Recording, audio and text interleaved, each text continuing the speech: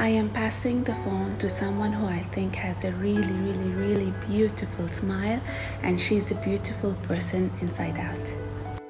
I'm passing the phone to the kind heart who's always ready to give a helping hand.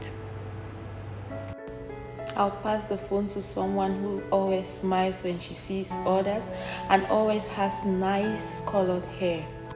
Hi, I'll pass the phone to someone who's very helpful, soft spoken, very loving, with a beautiful smile. Hi, I'll pass the phone to the sweetest person with the brightest smile.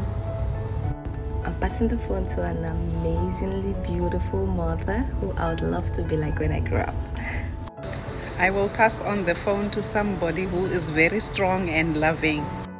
I am passing the phone to someone who is very kind with me. Hi, I will pass this phone to someone who is always helpful and kind. Hi, I'm passing the phone to someone who is very lovely. Her smile is everything, and she has a very, very beautiful heart. I'm passing the phone to someone with amazing sense of style. I will pass the phone to someone who is extremely supportive and helping. I will pass the phone to someone who has the kindest heart. I will pass the phone to someone who is kind and helpful. I will pass the phone for someone who have nice and unique style.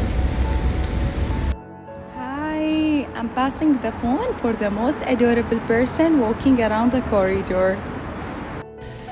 So I'm passing this phone to someone who is friendly and is approachable and good with the children and I know that she can be an amazing classroom assistant.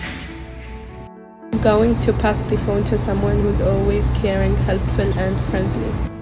Sometimes just a little compliment can make someone's entire day.